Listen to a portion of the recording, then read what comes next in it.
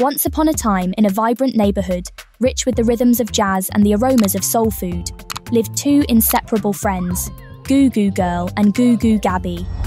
Goo Goo Girl, with her playful afro puffs, and Goo Goo Gaby, with her neatly braided hair, were known for their boundless creativity and love for art.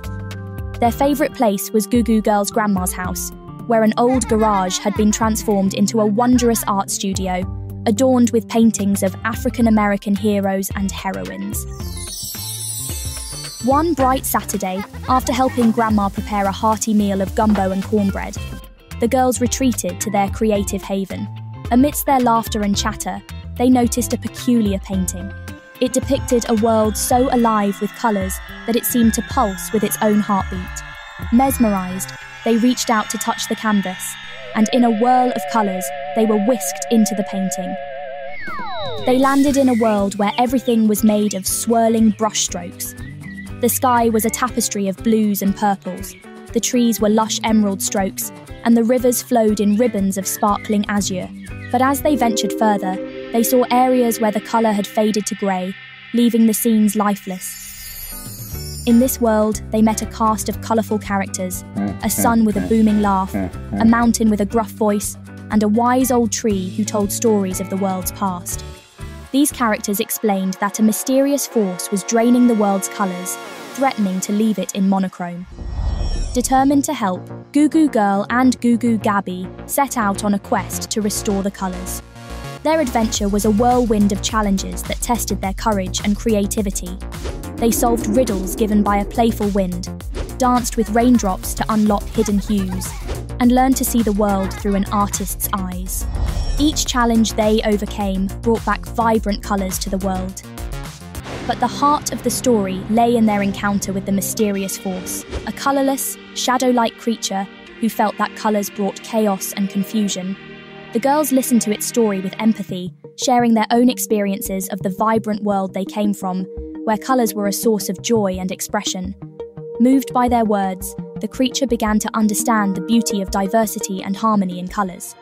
It released the stolen colours, and the painted world burst back into vibrancy, more lively than ever before. As the girls returned to their world, stepping out of the magical canvas, they saw their neighbourhood in a new light. They realised that their community was a living canvas, rich with history, culture, and colour they decided to share their adventure and lessons learned with others. Goo Goo Girl and Goo Goo Gaby started art classes for kids in their neighbourhood. They taught them about famous African American artists, encouraged them to express themselves, and showed them how to see the beauty in diversity.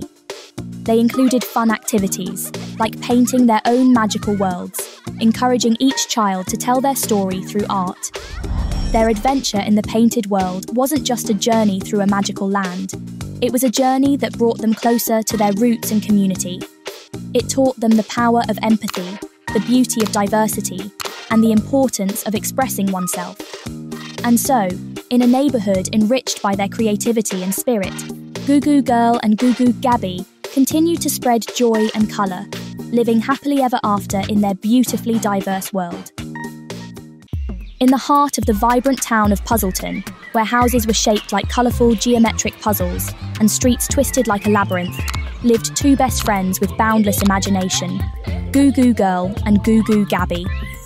Goo Goo Girl, with her hair in curly puffs, was the mastermind, known for her clever riddles and inventive ideas. Goo Goo Gaby, her hair adorned with beads that clinked softly as she moved, was the brave heart, always ready to lead the way into new adventures. They lived next door to each other in cosy houses, where their families shared tales and laughter. One bright morning, as the girls were playing in Goo Goo Girl's vibrant garden, a golden leaf, shimmering with a magical glow, floated down from the sky. It wasn't an ordinary leaf, but a puzzle leaf from the mystical enchanted forest.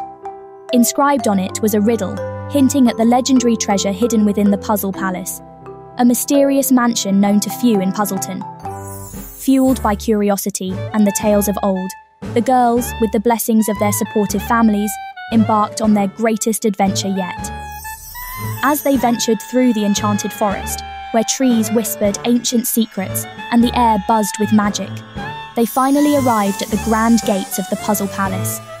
the gates opened to reveal a sprawling hall with countless doors, each promising a world of mysteries. The first challenge was a room where the walls inched closer with each passing second.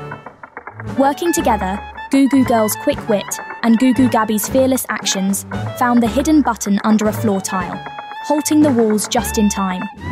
Each room thereafter offered unique puzzles, from a library with flying books that whispered hints to a garden where flowers bloomed with riddles.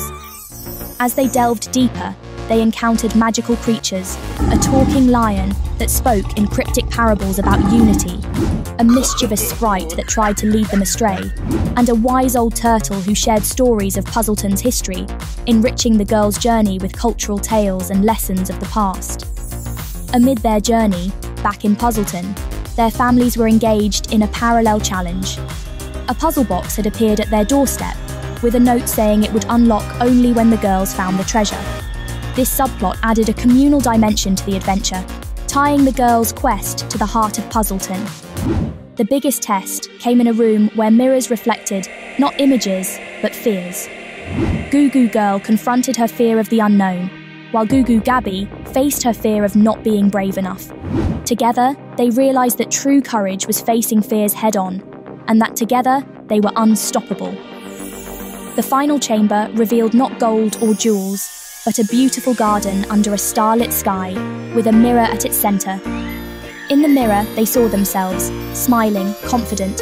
The real treasure was the journey, the lessons learned, and their unbreakable bond. Returning to Puzzleton as heroes, they found their families gathered around the now open puzzle box, which contained a book of untold stories and riddles of Puzzleton, waiting to be filled by the next generation of adventurers. In their cosy homes, surrounded by the warmth of their families, Goo Goo Girl and Goo Goo Gaby realised that every puzzle solved, every fear faced, and every challenge overcome had shaped them into who they were brave, smart, and, above all, the best of friends. Their adventure was more than just a quest for treasure, it was a journey of self discovery, friendship, and the celebration of their heritage and community.